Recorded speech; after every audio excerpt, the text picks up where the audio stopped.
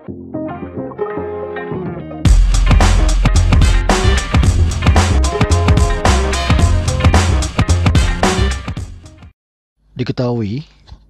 dua bilangan desimal di ruas kiri 18,1 dan di sebelah kanan 18,01.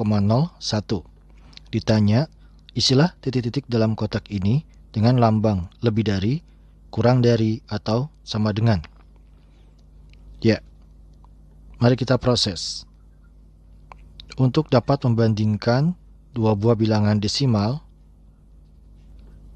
ya, yang perlu kita lakukan adalah uh, menyamakan banyak angka di belakang koma. Ya. Menyamakan banyak angka di belakang koma itu berarti menyamakan penyebut kedua bilangan desimal agar sama-sama menjadi pecahan per 10 atau per 100, per 1000 dan seterusnya. Bilangan desimal di ruas kiri ini memiliki banyak angka setelah koma satu angka atau satu digit ya. Sedangkan di sebelah kanan dua digit.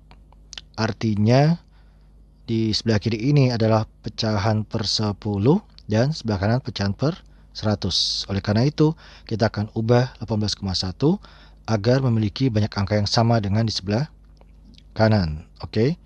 Kita akan ubah 18,1 seperti ini. 18,1 ya tentu ditulis sebagai pecahan 181 per 10. Kemudian agar menjadi pecahan per 100, maka pembilangan menyebut sama-sama dikali 10 ya. Pembilangan penyebut atau atas dan bawah. Sehingga menjadi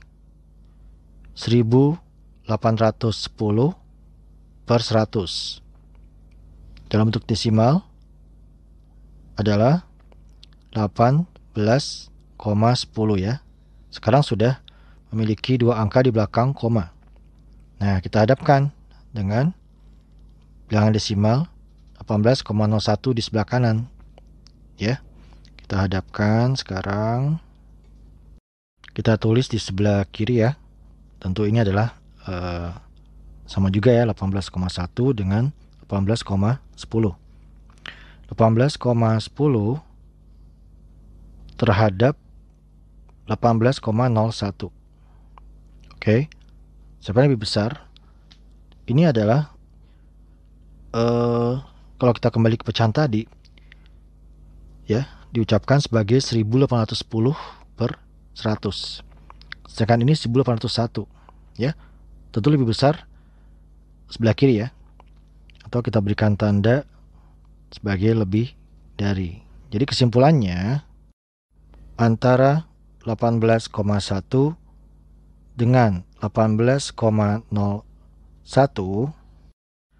lambang yang tepat untuk disikan di antara keduanya adalah lebih dari. Oke. Okay.